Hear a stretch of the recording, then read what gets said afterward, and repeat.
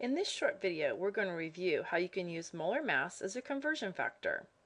For example, how many moles of oxygen atoms are in 5 grams of oxygen atoms? From the periodic table, we know that 1 mole of oxygen atoms weighs 16.00 grams.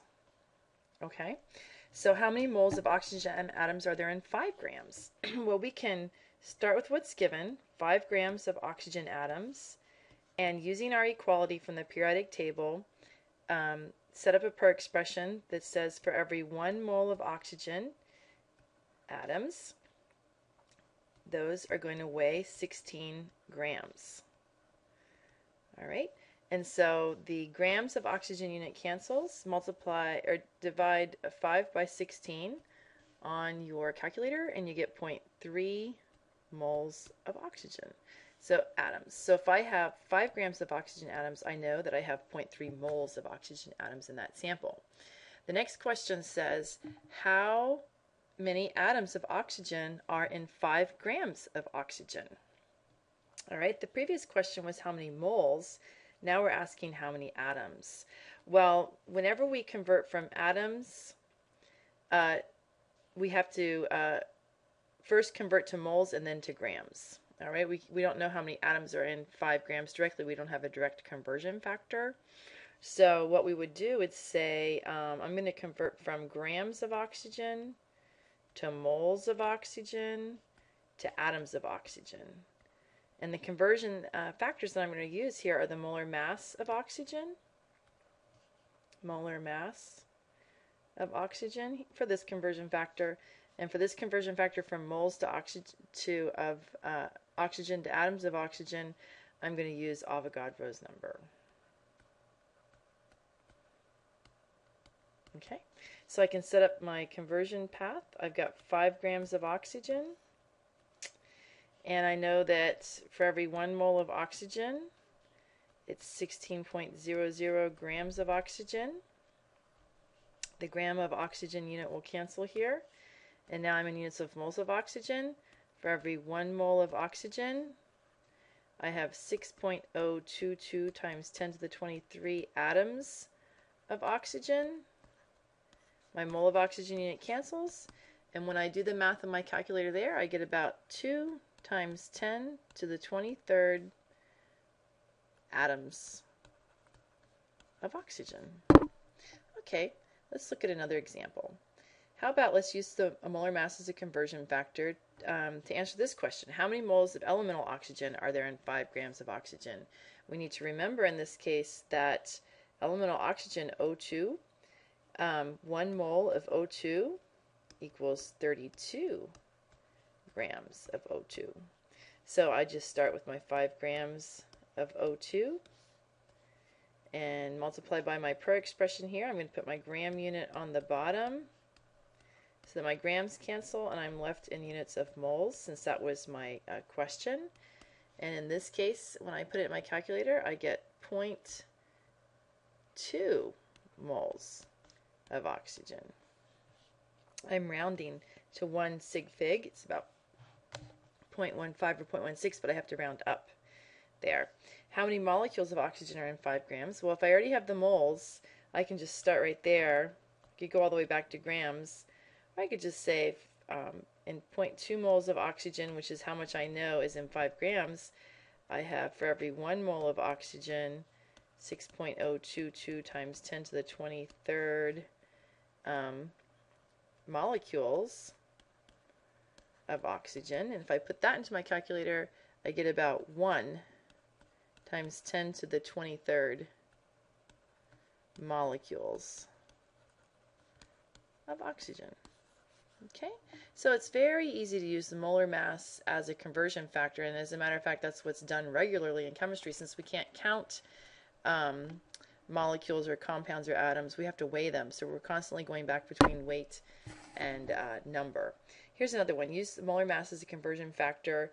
Um, if you have 25 grams of sodium oxide, how many moles of sodium oxide do you have? Well, you start with what's given, 25 grams of sodium oxide. from the periodic table, we can calculate the molar mass for sodium oxide. It's 77.98 grams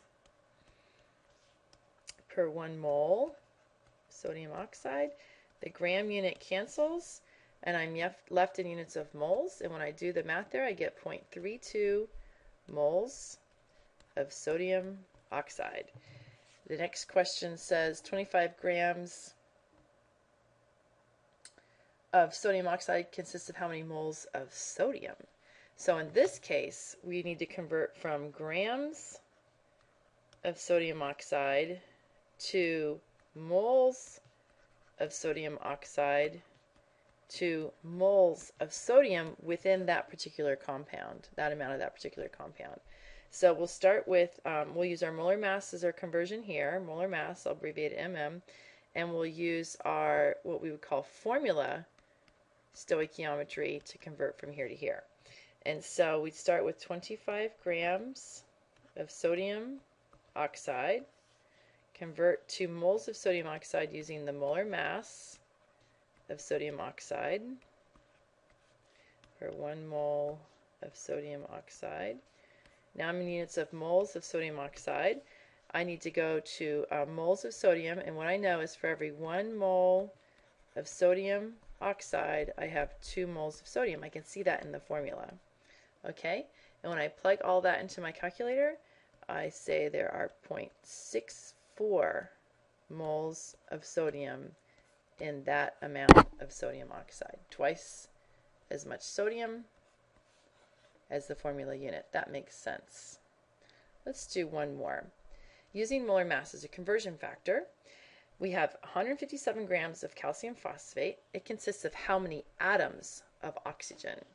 Okay, let's. This is going to be quite a few steps. So let me just slow this one down a little bit and let's decide what's given is 157 grams of the calcium phosphate. And what's wanted is how many atoms of oxygen are in that mass of calcium phosphate. So let's figure out what kind of conversion path we're going to have to take to get from here to there. We're going to start with grams of calcium phosphate. All right, and we want to end up with atoms of oxygen. All right, so we are, we're starting with a mass and we have to get to a number. So the first thing we have to do is get to moles of the compound, calcium phosphate. Okay, then we have to get to moles of oxygen. Then we can get to atoms of oxygen. Okay, so the conversion factor here is going to be the molar mass. The conversion factor here is going to be the formula stoichiometry. And the conversion factor here is going to be Avogadro's number. Okay, so here we go. Now we can work the problem. Starting with 157 grams of calcium phosphate. We're going to convert to moles of calcium phosphate using the molar mass. We've already figured that out right here. And the molar mass um, from the periodic table is 310.18 grams calcium phosphate per one mole of calcium phosphate. Okay, now we are in units of moles of calcium phosphate. I need to go to the moles of oxygen using the formula stoichiometry, and that tells me for every one mole, just looking at the formula, phosphate, for every one mole of phosphate, I have two phosphate, or for every one mole, excuse me, of calcium phosphate, I'm going to have two phosphates, which means I'm going to have eight moles of oxygen. Okay, and then the last thing is Avogadro's number. For every one mole of oxygen, I have 6.022 times 10 to the 23rd oxygen atoms.